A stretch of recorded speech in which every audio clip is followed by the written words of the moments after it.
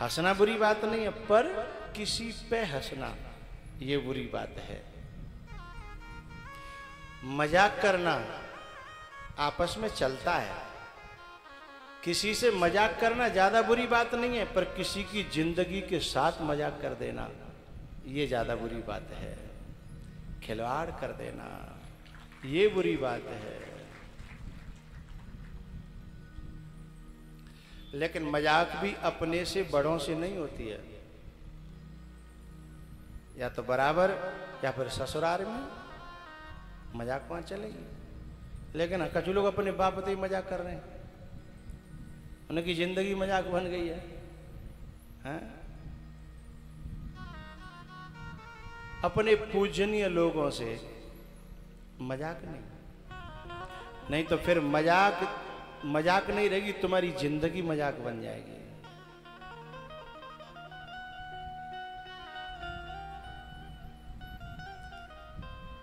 उपदेश कर रहे थे, पिता में भीष्म द्रौपदी हँसी, पिता में भीष्म रुक गए। उन्होंने कहा, बेटा, तू क्यों हँसी है, मुझे पता है। द्रौपदी ने कहा, अभी पतो लगे हो कि पहलते ही पतो। बोले, पहले से ही पता था। अब मैं वो बात खोलूं जो द्रौपदी क्यों हँसी? खोलूं कर रहने दू? जिना बोल रही कछु बात ये थी कि भीष्म बाबा उपदेश करते करते ये कह रहे थे कि सामर्थ्यवान व्यक्ति को अपने सामने अन्याय होते हुए नहीं देखना चाहिए। अब आप समझ गए होंगे, द्रौपदी क्यों हँसी? अब पिता में भीष्म कह रहे हैं कि ये बात मुझे पहले भी पता थी। तो दूसरा प्रश्न खड़ा हो गया कि फिर आप वह समय पे जब मेरी साड़ी खिंच रही थी। क्या आप सामर्थ्यवान नहीं थे? फिर आप क्यों बैठे रहे? तब पिता में भीष्म ने इसका निराकरण किया कि बेटा,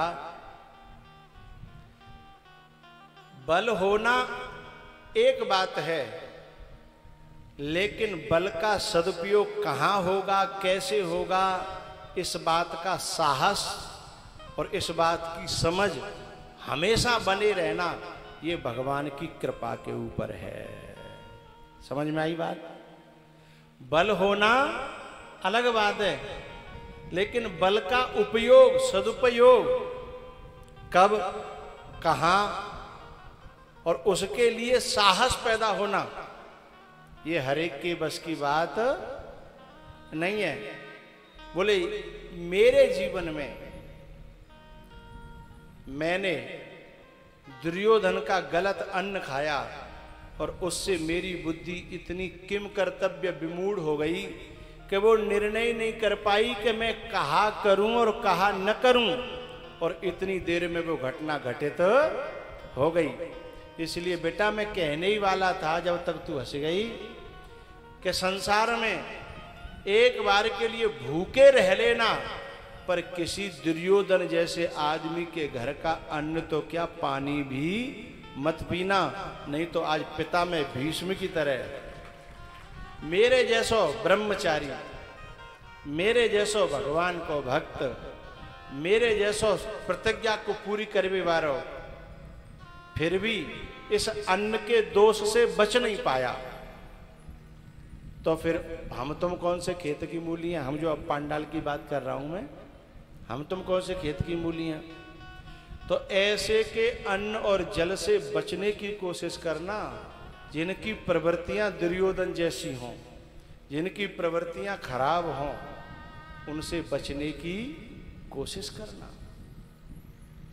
पिता में भीष्म कह रहे हैं कि आज यदि तेरे को कोई उंगली लगा दे तो मैं अभी भी खड़ा होकर के मैं उसका विरोध करने को तैयार हो जाऊँगा।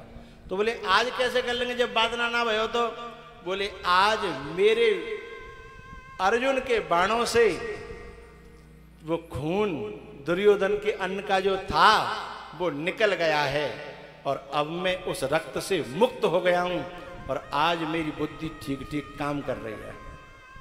लेकिन वादना बल तो था, लेकिन सदबुद्धि नहीं रही। उस समय काम नहीं किया, किम कर्तव्य विमूढ़ हो गया मैं। पिता में भीष्म के उपदेश को पाकर के पांडव धन्य हुए। भगवान चाहते थे कि इन्हें उपदेश मिले। उसके बाद भगवान वहाँ से विदा हुए हैं। जब भगवान चले गए तो युधिष्ठिर जी राजा बने। अब ये परीक्षित जी महाराज उत्तरा के गर्भ से जन्मे थोड़े से बड़े भय।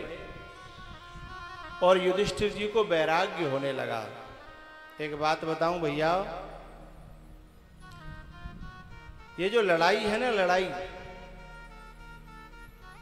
युद्ध, चाहे शरीर के स्तर पे हो, चाहे मन के स्तर पे हो, चाहे विचारों के स्तर पे हो, चाहे बुद्धि के स्तर पे हो, युद्ध तो युद्ध है। और युद्ध में जो किसी को मारता है, वो भी मरता है। और जो खुद मरता है, वह भी मरता है। बात समझ में आ रही है? जब तक लड़ाई चल रही है, जब तक एक पार्टी में तो कोई मरे ना और एक मरतखे में भगदड़ मच जाती है। फिर पूरे खानदान का सुपड़ा। मरे तो मरे, और कोई हम पे मरेगा तो मरे। दोनों तरफ़ ही घाटे का सौदा है।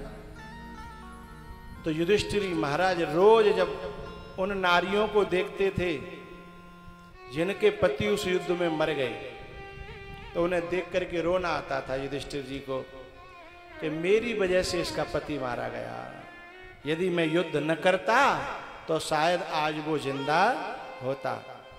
और ये बेचारी ऐसे न डोल रही होती। किसी माँ को देखते हैं कि इसका बेटा उस युद्ध में मारा गया। उसका भागीदार मैं हूँ। क्योंकि मैंने युद्ध न किया। वो तो निर्दोष था। क्योंकि बाय तो नौकरी करनी थी तो नौकर था तो बाय तो लड़ाई करनी थी। पर दोस्त तो हमारा हो ना ऐसे युधिष्ठिर जी महाराज देख देख करके बहुत रोते थे। उन्हें रोज वैराग्य होता था। लेकिन वो इंतज़ार कर रहे थे या राजे हमारे बार और नेक बड़ो है जाए तो फिर मैं बैराग ले लूँ, मैं घर परिवार को छोड़ दूँ। तो परीक्षित जी महाराज ने बड़े भये सोलह सत्रह साल के। तो युधिष्ठिर जी ने बुला करके और पांडवों को सबको बुला करके प्रस्ताव रखा कि, भाई, अब मेरो जा संसार में रहने को मन नहीं है। अब मैं तो वैराग्य लेना चाहता हूँ, मैं उत्तराखंड को जाना चाहता हूँ, पहाड़ों में, वनों में, जंगलों में जाना चाहता हूँ। मोई मुक्त करो भाई। तो ये जो पाँचों पांडव थे, इनके वंश में जो अकेलो ही बचो परीक्षित जो राजा बना। तो फिर सब पांडवों ने मिलकर के परीक्षित जी को राज तिलक किया और पाँचों पांडव उत्तराखंड को गए हैं।